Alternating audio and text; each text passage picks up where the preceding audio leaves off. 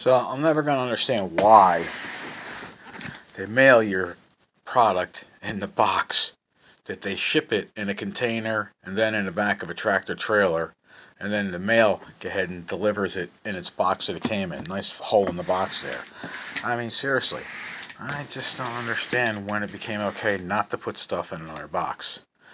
Especially something that's electronic, like a sewing machine or a monitor. I mean, I got my three monitors just in the boxes that they were shipped in as well. Anywho, that's enough complaining. Just got this nice 6700. Yeah, 6700C. So, there's my old one. still works fine, but this is supposedly more industrial. Not industrial, but just more.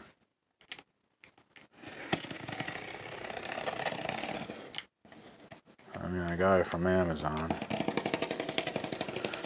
for $2.99, which is cheaper than everybody else by 40 bucks, including Singer's website.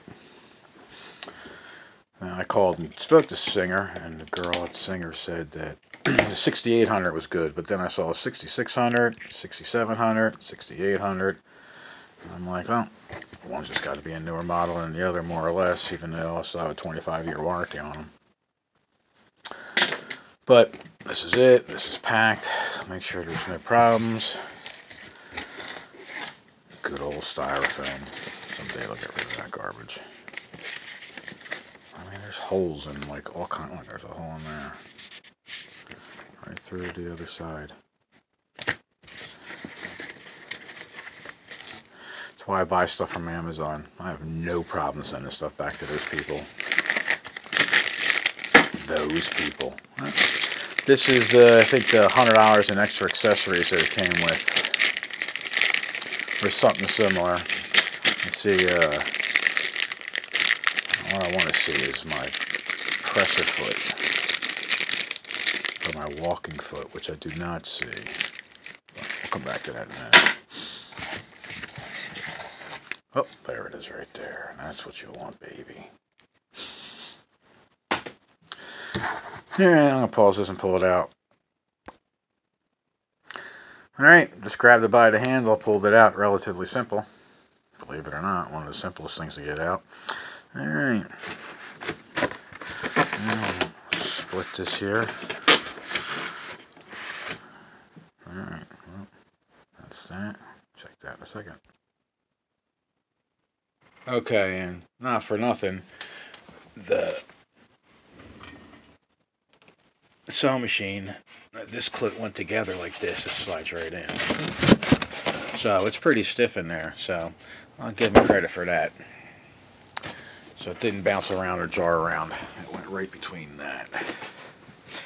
Alright, we got all kinds of stuff set up electronics. Spool's already on there, so it's been wound. Piece of paper, not even fabric. Alright, so this is the heavy duty here, supposedly with a bunch of stitches, which are down here. Can't get enough of surface. There we go.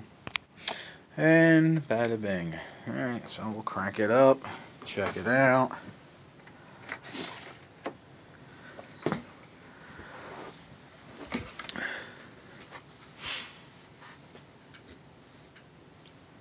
Got roller measurements on the front. Reverse stitch. Oh, it's got a CD player, play and pause. And hmm, that's probably the cutter. And that raises the needle, it looks like. I guess I'll have to read the instructions, but pretty cool. So this is the 6700, I believe. 6700C. The 6600 was just a smaller panel and it was digital and like, you know, an old digital watch, red. So it still did everything, but for like literally $80 more. It's going to last me the rest of my life, so a little bit, of, a little more. So hopefully this thing will sew through some leather. I'm in the process of doing a couple things right now. Just finished up. Just got to sew this together. two belts. Reused them. So, alright, I got too much stuff to play with. Later.